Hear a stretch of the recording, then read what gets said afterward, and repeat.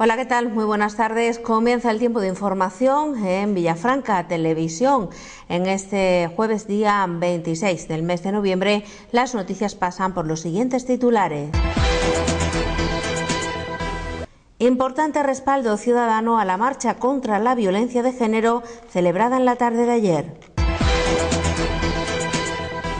La consejera de Hacienda estuvo presente también en esa marcha contra la violencia de género. En sus declaraciones llamó a la oposición irresponsable por tumbar los presupuestos regionales que dijo venían a reparar las heridas que tenía Extremadura. Pablo Iglesias, quien también estuvo presente en esa marcha, encantado con estar en el pueblo de su abuelo. El Banco de Alimentos realizará una recogida en Villafranca mañana viernes y el sábado.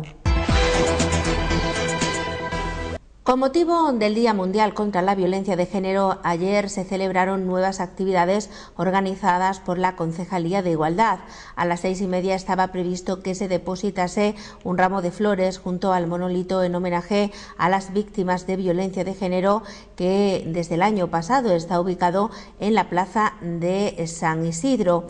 El acto se retrasó debido a la presencia allí del candidato a la presidencia del Gobierno por Podemos, Pablo Iglesias, también asistió a esta marcha la consejera de Hacienda Pilar Blanco Morales. Ambos ofrecieron una rueda de prensa antes de que comenzase esa marcha y antes de que se depositase ese ramo de flores, algo que retrasó este acto.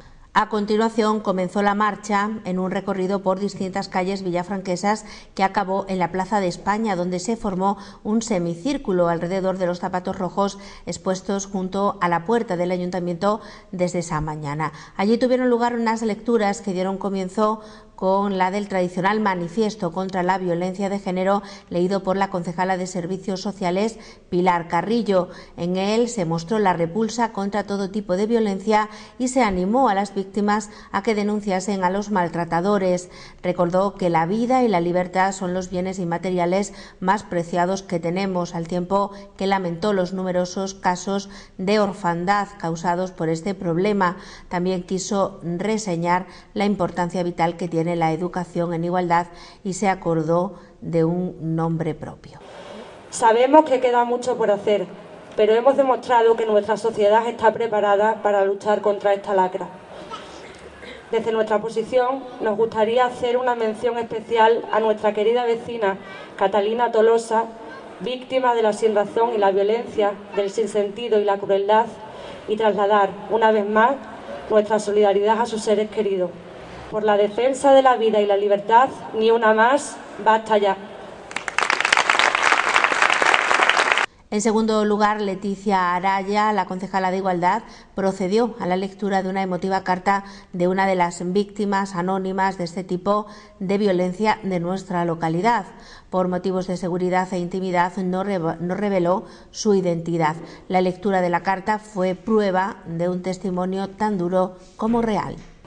Recuerdo el día que decidí irme de casa. Tenía a mi bebé en brazos y esperaba en la puerta que viniera mi padre a recogerme. En ese mismo momento vi mi vida con él. Vi puertas rotas, móviles tirados por el suelo rotos, platos de comida llenos de comida tirados por el suelo. Vi muchas cosas más destrozadas. Me vi encerrada en el VC con mi bebé llorando. Vi como mi bebé, con poco más de un año, le secaba las lágrimas a su madre. No llores, mami. Y vi ese volante de la primera riña. Entonces comprendí que él tenía razón, que yo tenía la culpa. Sí, la culpa, por haber tenido esa venda durante todo el tiempo mis ojos, que no dejaba ver la vida con claridad, mi vida y la de mi bebé. Ver esa vida maravillosa, sin voces, sin insultos, sin discriminación, sin vejaciones, sin caras agresivas ni empujones. Esa vida era la que me esperaba, una vida tranquila, sin llanto ni lamento, una vida en la que podría volver a dormir y dormir tranquila. Lo que vino después fue la lectura por parte de miembros de partidos políticos de la Hermandad de Donantes de Sangre y de la Asociación Oncológica de los distintos casos mortales que llevamos en 2015 en España, con detalles de cada uno de ellos, muy duros de escuchar. Por último, se guardó un minuto de silencio en homenaje a las víctimas en este día tan ruidoso. El acto entero se podrá ver aquí mismo tras el informativo.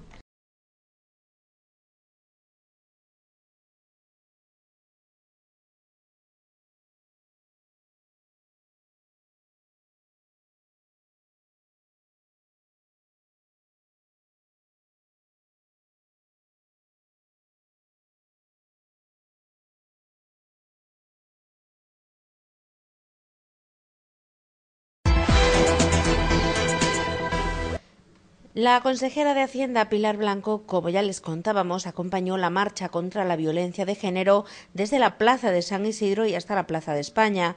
Antes de comenzar el acto atendía a los medios de comunicación y en un principio expresaba que ojalá que llegue un día en que no tengamos que celebrar esta jornada porque hay que acabar con esta lacra social. Y después se refirió a los presupuestos de nuestra comunidad autónoma, calificando a la oposición como irresponsable por tumbar unos presupuestos que venían a reparar las heridas que tenía Extremadura, en los que seis de cada diez euros iban destinados al gasto social incidía en que el Gobierno continuará a partir de ahora con el diálogo, esperando las propuestas que le realicen desde la oposición en los próximos 30 días. Y después, dijo el presidente, ha fijado como fecha tope el primer trimestre de 2015 para conseguir llegar a un consenso. Hoy es el día de la lucha y una lucha en la que no cejaremos nunca contra la violencia contra las mujeres.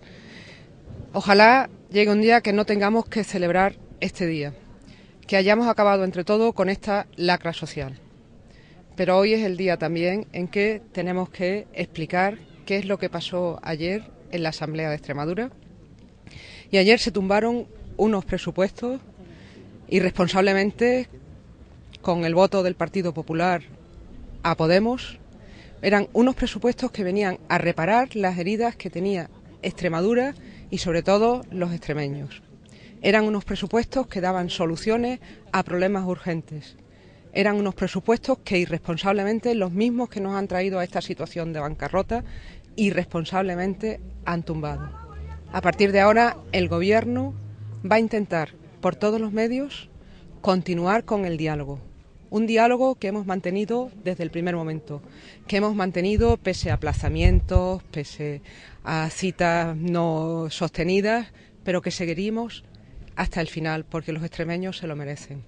El presidente de la Junta ha enviado hoy una carta a los grupos parlamentarios emplazándoles para que realicen sus propuestas por escrito, conocen cuáles son las cuentas de Extremadura, conocen a qué pensábamos destinarlas, a renta básica, a plan de empleo especial, a la sanidad, a la educación, pero el presupuesto era mucho más. Eran esas cuentas, eran Además, un texto articulado donde se incluían por primera vez cláusulas sociales para la contratación pública y esperamos la respuesta de los grupos parlamentarios porque nuestro ánimo, nuestro empeño en dialogar sigue intacto, como sigue intacto nuestro afán por resolver los problemas de los extremeños. Estos presupuestos dedicaban 6 de cada 10 euros a gasto social estos presupuestos recuperaban la sanidad, la educación, tenían un plan de empleo especial, políticas de empleo activas y estos presupuestos tenían un sesgo, una orientación claramente social. Quien no lo quiera reconocer debe ahora aportar sus mejoras. En el debate de ayer se habló mucho más de otras consideraciones que de políticas sociales. Intentaremos consensuar porque lo llevamos haciendo desde el principio. Nosotros nos mantenemos en el diálogo, nos mantenemos en que vamos a recibir todas las propuestas de los grupos parlamentarios que nos tienen y vamos a hablar también con los agentes sociales porque lo primero que vamos a intentar salvar son los compromisos que hemos adquirido con los agentes sociales para las políticas sociales. Y vamos a poner como única línea roja las políticas sociales, el gasto social, la vida de las personas y entre ellos algo muy importante que ayer nadie quiso valorar y que nosotros es para nosotros una línea roja, las cláusulas sociales en la contratación pública, que por primera vez se incluyan en nuestros presupuestos. La carta del presidente les da un plazo de 30 días para que puedan trabajar concienzudamente, conociendo mm, todos los aspectos del presupuesto, su texto articulado, su estado de ingresos, su estado de gasto. A partir de ahí, cuando recibamos las propuestas, tenemos un horizonte que el presidente ha fijado en el primer trimestre, que esperemos que en ese tiempo seamos capaces de llegar a consenso. La reforma fiscal no se va a tramitar antes de los presupuestos. En cualquier caso, se hablará también con los grupos parlamentarios, que es algo que siempre dijimos que queríamos hablar con ellos. La respuesta que recibimos de los grupos parlamentarios fue de Ciudadanos, que ahora no, porque estaba de elecciones. Del Partido Popular, que era una línea roja para ellos. Y Podemos, en una reunión, ni preguntó por ellos. Les dijimos que estábamos dispuestos a hablar, estamos dispuestos a hablar y cuando quieran que nos traigan sus propuestas, por supuesto que sí. Thank you.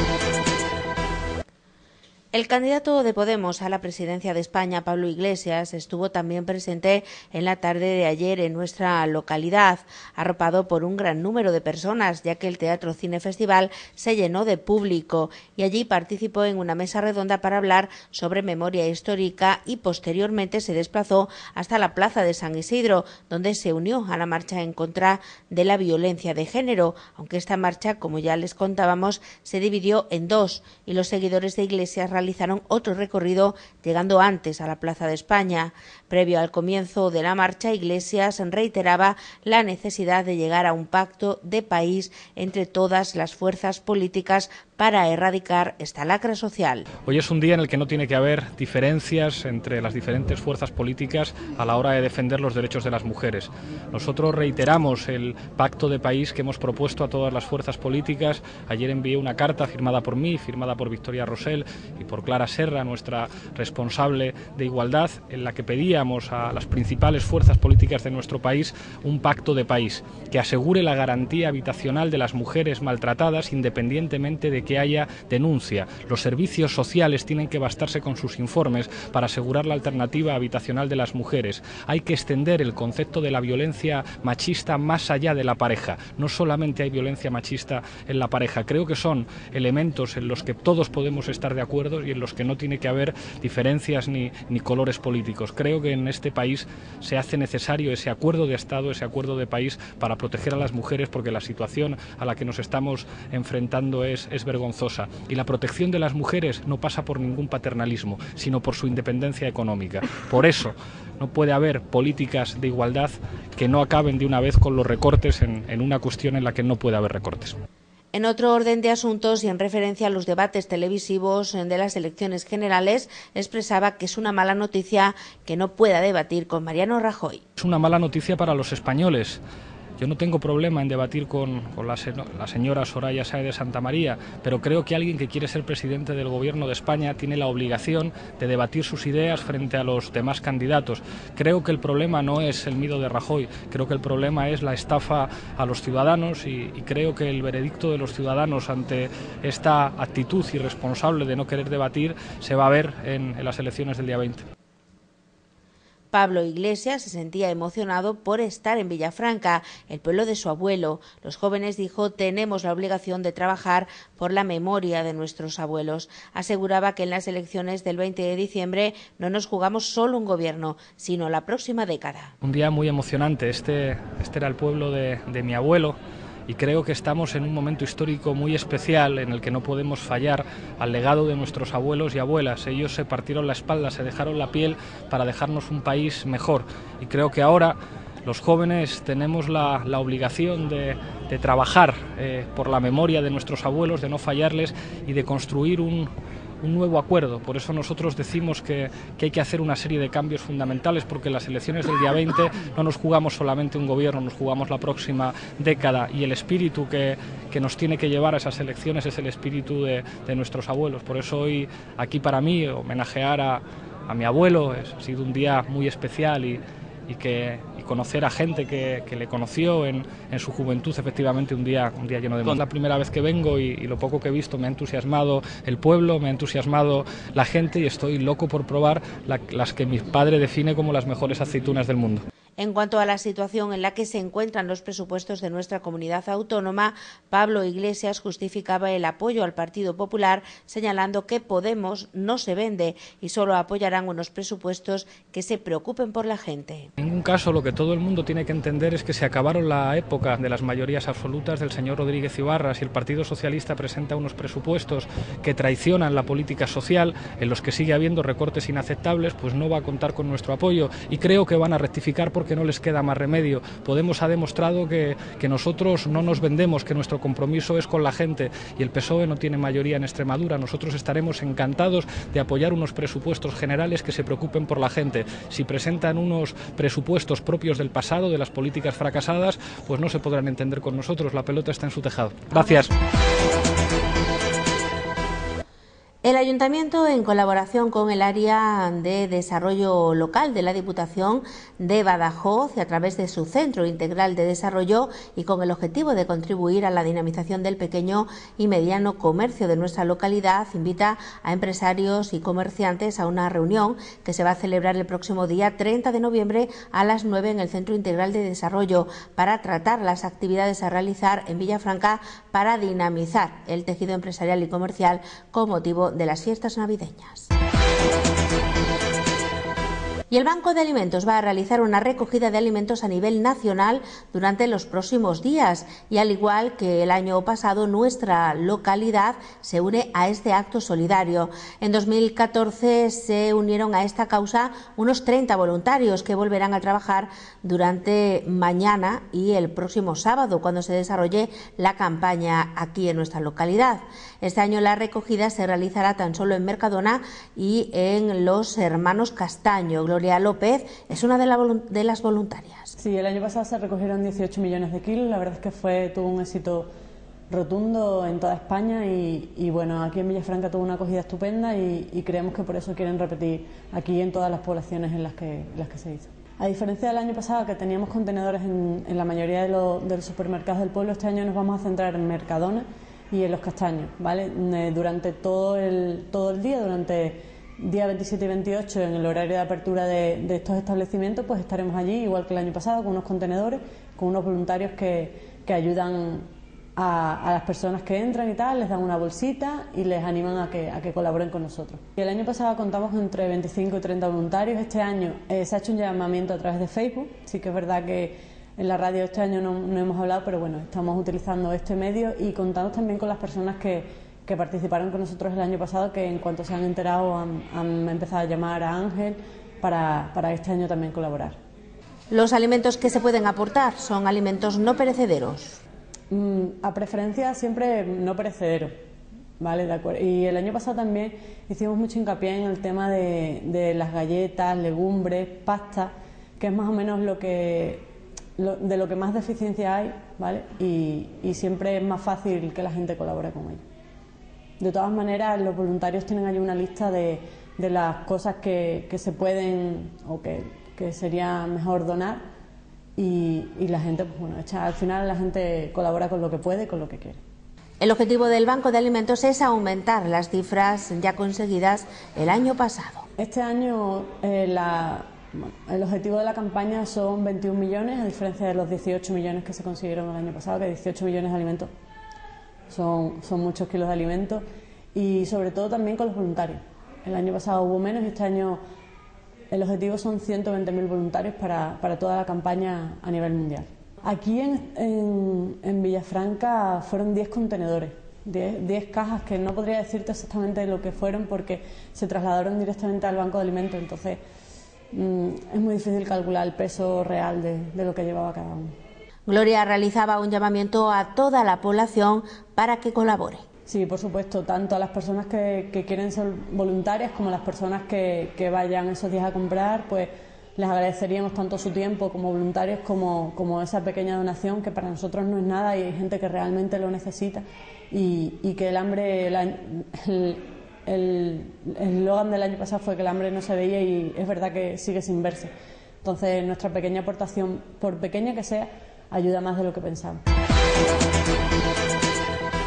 Y la Asociación Oncológica Esperanza de Vida va a celebrar el próximo día 13 de diciembre su tradicional comida convivencia de Navidad. Eh, será en el bar Los Arcos a partir de las dos y media del mediodía. Las personas que deseen asistir, asistir pueden adquirir sus invitaciones a un precio de 17 euros durante los días 1, 2, 3, 4 y 5 de diciembre en la sede de esta asociación en horario de 7 a 9 o bien durante estos días pueden también adquirir sus invitaciones en la farmacia de Antonia Matamoros.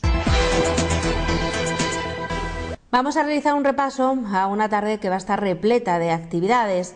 Se va a celebrar una asamblea general ordinaria de la Asociación de Empresarios de Villafranca.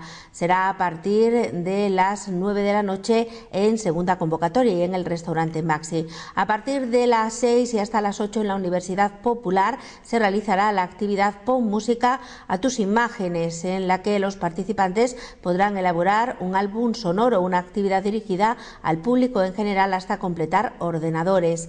Esta tarde también continúan las donaciones de sangre en el centro de salud en horario de cinco y media a nueve y media. Un aviso también para todos los donantes ya que tienen una cita. Y dentro del proyecto Explorando Fronteras que el ayuntamiento ha firmado con Cruz Roja esta tarde se va a celebrar un video forum en el que se proyectará un reportaje de Juan Carlos Navia, Antonio Hidalgo y Jesús López Santana eh, para Cruz Roja Española titulado Con el sueño y la esperanza de volver que trata sobre la vida de un campo de refugiados malienses eh, en Burkina Faso. También se proyectará el documental Ligeros de Equipaje de RT Informa, donde conoceremos el viaje que realizan los solicitantes de asilo de origen sirio. La actividad comenzará a las 7 de la tarde en la guardilla de la Casa de la Cultura. Y también esta tarde se presenta en el Salón de Actos de la Casa de la Cultura el libro Campanadas en Noche de Luna Clara, 350 aniversario del milagro de la coronada de la Asociación de Amigos del Museo de Villafranca.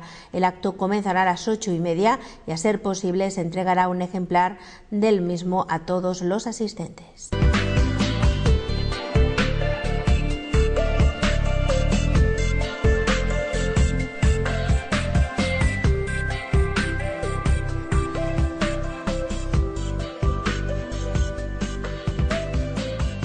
Y vamos llegando al punto y final en nuestro tiempo de información. Como siempre, antes de marcharnos, hablamos de las previsiones meteorológicas que nos hablan de cielos soleados y unas temperaturas, eh, las máximas pueden estar en ligero ascenso, pueden llegar a ser eh, de entre 16 y 17 grados en los próximos días y las mínimas estarán en torno a los 4. Y bien, así de esta manera finalizamos hoy nuestro tiempo de información en Villafranca Televisión. Que pasen una muy buena tarde y hasta mañana.